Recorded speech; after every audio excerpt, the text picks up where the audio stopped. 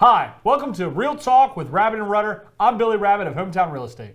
And I'm Ron Rudder, and this is where we discuss educational topics in the world of real estate. And in today's segment, we are talking about the importance of curb appeal and your driveway. We have a special guest, Mr. Grant Peterson of Ideal Driveway Solutions. Hi, Grant. Hi, Ron. Hi, Billy. How are you? So, Grant, so, you know, in today's hot seller's market, you know, to, to try to, to bring in as many buyers, one of the things that I know that you and I have talked about is the importance of your driveway and making sure that they get that initial pop once they pull in. Yeah, absolutely. So uh, you can get that from any number of ways. Mainly seal coating is the most cost effective, um, but there's also pressure washing for concrete driveways and in extreme cases repaving. Okay, wow. Okay. So, you know, you know, right now we're right here kind of at the kind of the tail end of winter. Um, when do you, you know, recommend or suggest, you know, people, you know, go out and get their driveway sealed? Yeah, it's a, a great question. So uh, we have a few different thresholds um, for seal coating, which is a, a, a large majority of our work. Um, you want to stay above that 50 degree mark. So historically, anywhere from April 15th through the end of October, you know, November 1st, uh, October 30th, 31st.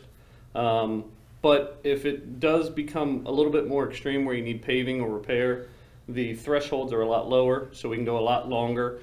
Sometimes into February, all the way through into December again, historically. So 50 degrees for seal coating, 40 degrees for paving. Oh, wow. Okay. Yeah. One of the things that always comes up during my inspections is that they have cracks in their driveway.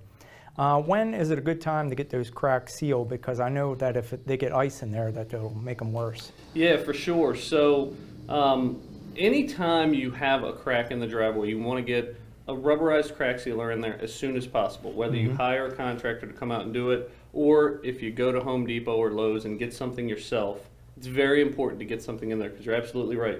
When water gets down in there, it freezes, it pushes the driveway apart, uh, and that does a significant amount of damage. But then the thaw, it's created a larger void, and then when it thaws, there's nothing there to support that void, and it actually crumbles during the thaw.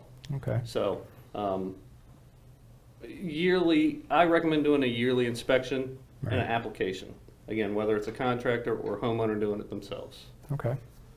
So it sounds like that just kind of this this simple maintenance, you know, yearly, having your driveway inspected, filling the cracks, having it sealed, that can that can really avoid a, a very costly, you know, um, mistake, I guess, really, because I mean, what is the average, you know, cost of a driveway? I'm sure they can get pretty expensive. Yeah, so uh, it, it really can vary depending on the size of the driveway. Um, seal coating can use, uh, usually range between 15 to 20 cents a square foot, um, whereas repairing and patching can be anywhere from $2 a square foot up to about $7 a square foot. Oh, wow. So it really can fluctuate depending on the driveway and, um, and, and the size and the scope of work.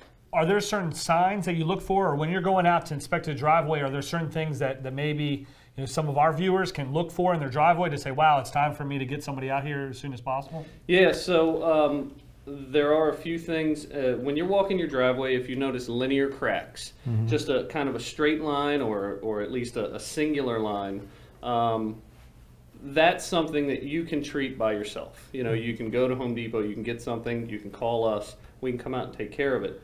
Um, if you run into what's called alligator cracking, where it's a highly concentrated area of cracks, just you know maybe a small area, maybe the size of this table, maybe smaller, that's something that might be a little bit outside of the typical homeowner's uh, capacity.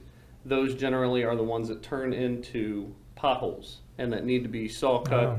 repa- repaired, um, removed and replaced, I should say, um, or a very heavy duty crack sealer. Okay. So- Wow. Okay. Now, I would assume your company, Grant, that you do brand new driveways too. There's a lot of folks in southern Maryland who have dirt or gravel, and maybe they're looking for a brand new driveway up to their beautiful house. Yeah, yeah, absolutely. So we, we do paving as well. Mm-hmm. Um, and we can do a, a multitude of paving. We can do new construction like you just described. Uh, we can do a repair and overlay, or if it's not quite in that bad a shape, we can just do an overlay. Okay. So Grant, I mean, I think you bring up a lot of great things, especially for you know a buyer that's looking at a home. You know, there's some different things that they want to look at and inspect, and because if some of these could be costly, you know, repairs needed, you know, if somebody did not maintain their driveway, you know, that maybe the previous seller didn't maintain it. So that's that's that's great information. So thank you. Yeah. Yes, thanks, Grant. You know, knowing that we are in the winter and we have, you know, finally Southern Maryland has gotten a little bit of snow, right?